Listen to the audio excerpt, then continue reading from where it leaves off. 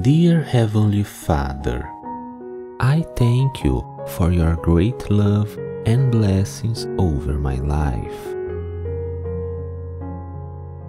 I pray that you help me in my moments of trouble and grant me peace of mind to calm my worries and anxieties.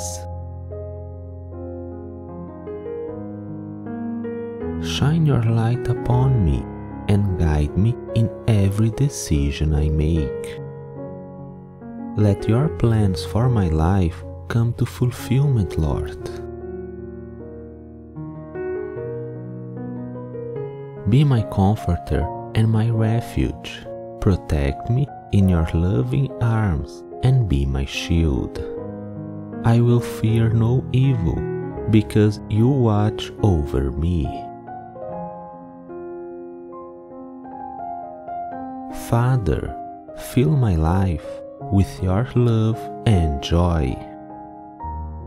I am grateful for all the love, grace, and mercy that you have given me, even though I did not deserve it.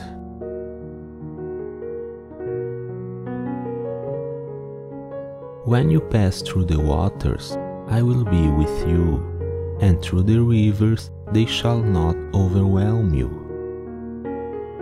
When you walk through fire, you shall not be burned, and the flame shall not consume you. Isaiah chapter 43, verse 2. To you, Father, I give all the praise, honor, and glory. In Jesus' name, I pray. Amen.